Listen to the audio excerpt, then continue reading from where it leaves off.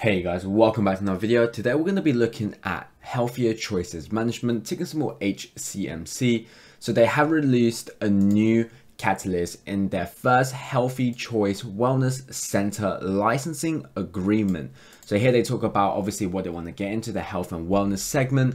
And they have pretty much been doing this with this new health center and they talk about other things that I really want to look at firstly I want to talk about why again their business is something that this is a service that our customer have wanted for quite a while and we have been looking for the right companies to work with, which could show that this potentially could be a good business venture for them to go to. We're going to talk about how that's going to affect healthier choices management in the future, but really just looking at this. Well, they're also going to be looking at ILUS International, ticker symbol ILUS, and Cyberlux Corp, ticker symbol CYBL, both with great opportunities coming up and we definitely should be looking out for in the future.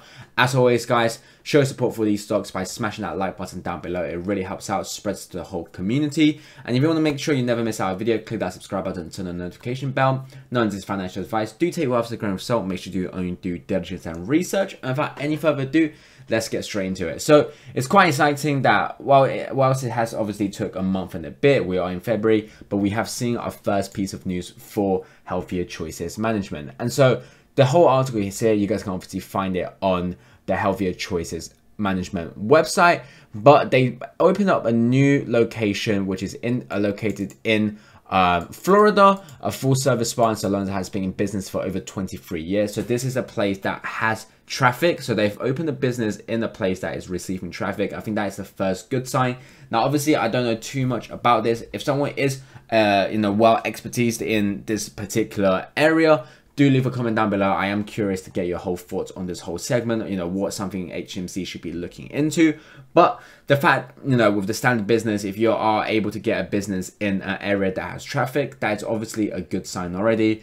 They include treatment, such as um, from scrubs, exfoliation, mud soaks, and seaweed wraps, full array of massages. Again, these are just kind of the um, treatments.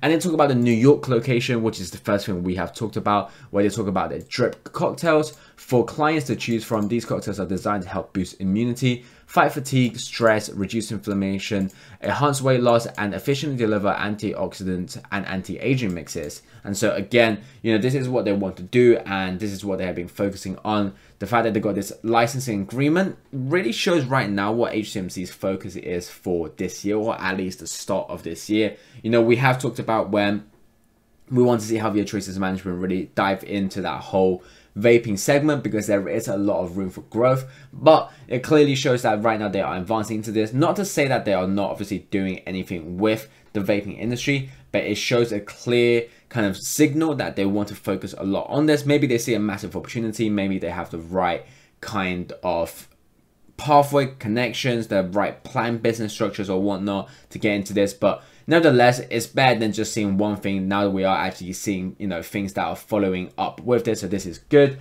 And then they pretty much talk about, again, like I said, CEO said had to say this. We're thrilled to work with um, with an establishment like Cashbar, a stable in the community for over 23 years with an impeccable reputation for high quality wellness and beauty services. So they are partnering up with a company that's already well known for this. So it's good that they're not trying to do this as kind of themselves. They are branding with another company that's already successful. Maybe, you know, if they were to do just to be like HCMC, we are someone that offers health and wellness, maybe that might not get a lot of attraction, but they're doing this with a company that's in this community for over 23 years. So again, I think the way they're approaching this is extremely smart and it does show that, that they seem to have a plan in mind. Obviously, at the end of the day, their company is down to them to decide. So we can't really say that this is a bad venture. So we really have to see what's you know to what's more to look for for this.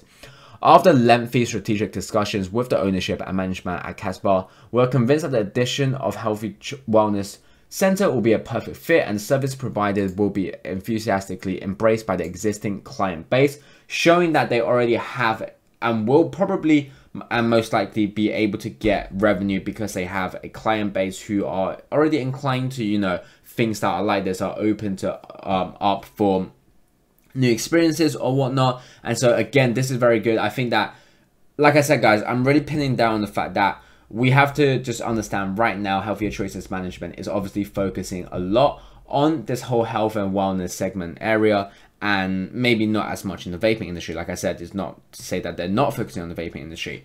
And so we obviously have to understand what they're doing. And with what they're doing, they are doing and what seems to be a good job of it of the fact that they are not trying to start from the ground. They're not trying to try to start new.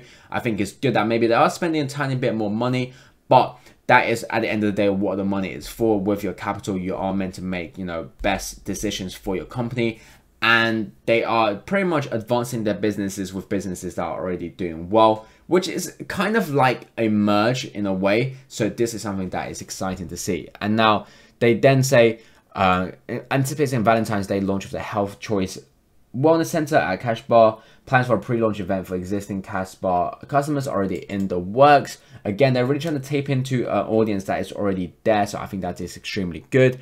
And then the owner of the Cash Bar had this to say, We're so excited to be bringing IV therapy and additional wellness treatment and products into our spa under the Healthy Choice Wellness Center brand. This is a service that our customers have wanted for quite a while and we have been looking for the right company to work with in order to maintain our high quality standards.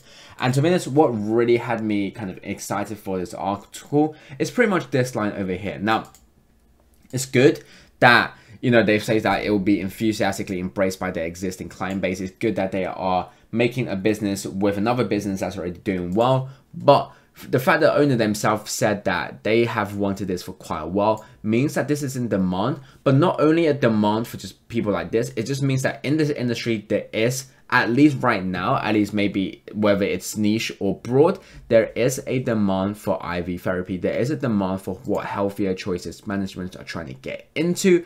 And so the fact that you know their customers reflecting that they have wanted for quite a while reflects that maybe potentially there are other customers in other you know, um, of the same industry also wants this. And so again, this really excites me the fact that there is people in demand for this. There is um and then there will be a supply for it and it will be healthier choices management. So I think that's quite exciting. And then they're also here to maintain our high quality standards. And so I'm assuming a company that's in here for 23 years obviously is key on their quality and their standards, like they say here, their high quality standards.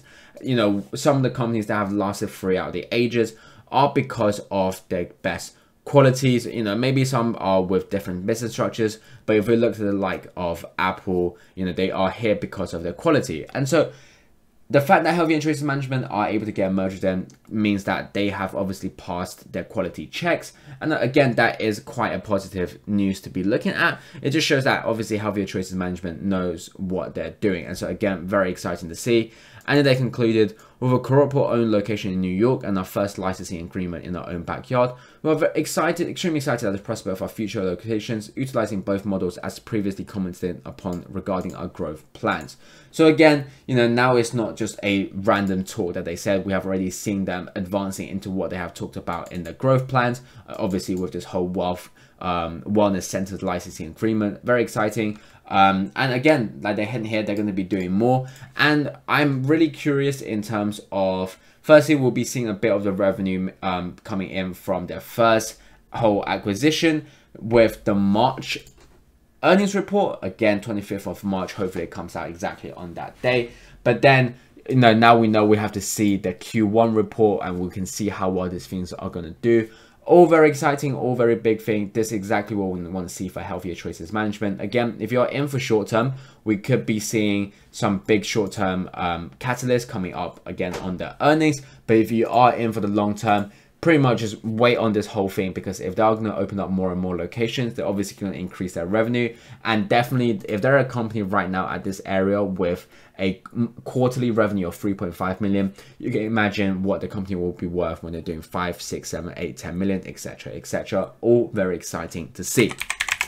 Now, let's quickly talk about ILUS and let's quickly talk about CYBL. For ILUS, again, we are seeing another red day today, minus 12%. This is extremely normal. A lot of people are panicking right now. But again, we have took so much short-term profit. And this is why I emphasize on people taking short-term pro profits. I get a lot of people always arguing with me, and I'm not here, obviously here to argue. But I think it's important to take short-term profits. ILUS is a great company, not to bash on the company. It's a great company. But why would you give up a chance you know, not everyone who's invested into ILUS is watching my videos. Only a proportion out of the, you know, maybe potentially hundreds of thousands of stockholders or even 50,000 shareholders, only around I say 300 to a thousand people really watch this video and why would you then give up the opportunity to be taking this profit from 0.2227 to the 50 MA, which is an over 60% swing trade? This was huge.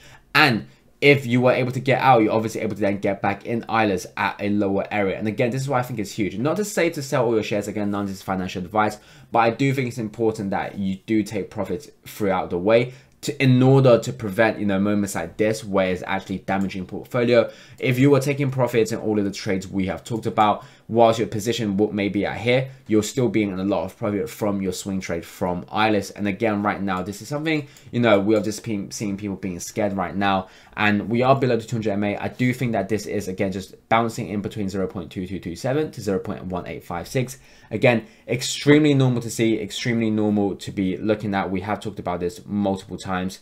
And, you know, it's just something that it's going to be happening right now. We are going to see more money being coming in into the market. Um, and when that does happen, that will obviously be the run. Again, right now, there is no more catalyst for ILUS and there's no more catalyst in the short term for CYBL as well. Obviously, the ones that have already come out, we have already mentioned. CYBL breaking below that 0.0125. Now, CYBL is a stock right now. Again, if you manage to take your profits, you won't be in a loss right now. You know, we have talked about many swing trades over here, 70%, over here, over 46%. And, you know, multiple times, if you want to take mini swing trades like here, where it's 15%, all okay, all, you know, just um, trades that you should have definitely been looking at. But right now we're looking at this area. Again this is something that we would be expecting. I talked about how we saw a lot of sellers with this particular bar with the price action. Below was 0.0125 nothing too you know, bad to be looking at.